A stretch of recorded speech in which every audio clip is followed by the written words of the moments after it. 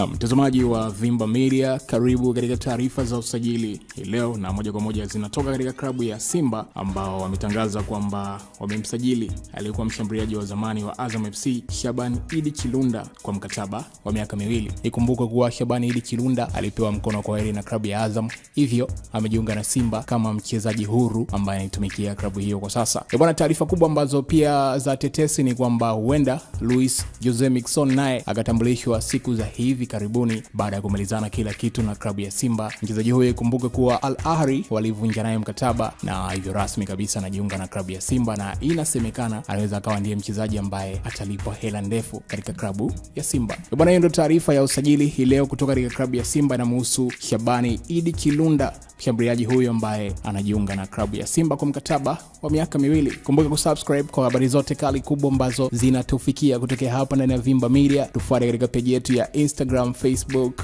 na Twitter, tunajulikana kama Vimba Media.